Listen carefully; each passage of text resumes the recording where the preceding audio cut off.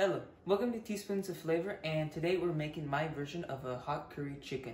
And if you like these videos, like, comment, and subscribe for more. And so, the ingredients you're going to be needing is some sliced chicken, uh, some sliced tomatoes, you have a mixture of spices which include turmeric powder, hot curry powder, and regular curry powder. And then I have here some tahini, which is just ground up roasted uh, sesame seeds. So first, you need to cook the chicken until it's just brown. You don't want it fully cooked.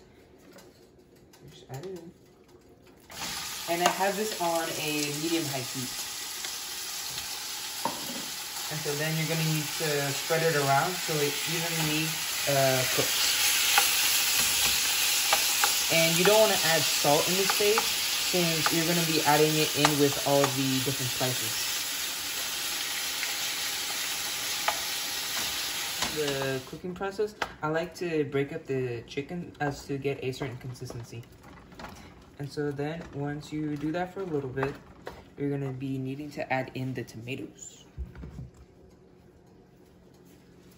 So then just add them in. And I've sliced these thinly so that they can kind of dissolve, dissolve and turn into a sauce.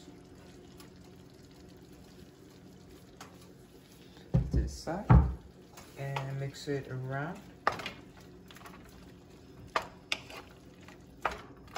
Then just add in the spices.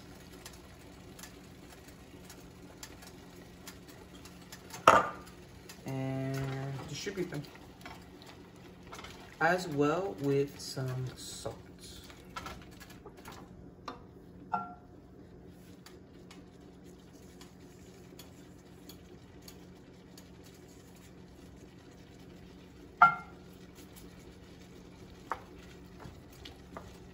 So once the curry begins to look like this, we're gonna be adding in the tahini.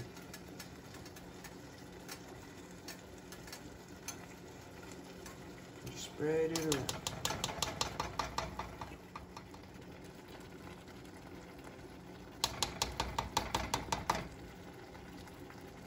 And stir it around. And it should begin to look very creamy. And so once you've added in the tahini, we're gonna let this simmer for about 40 minutes and then we'll come back and check on it. To make sure that the curry doesn't become too thick, we're gonna be adding in some water. Just as you need.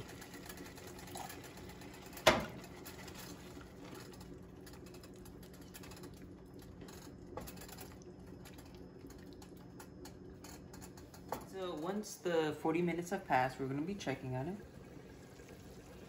Mm, it's very creamy. So it should look just like this. Chicken should be broken up. And it looks just about done. Uh, this is a very easy and simple meal to make and it's great for families since you can make it in big batches. Hope you enjoy!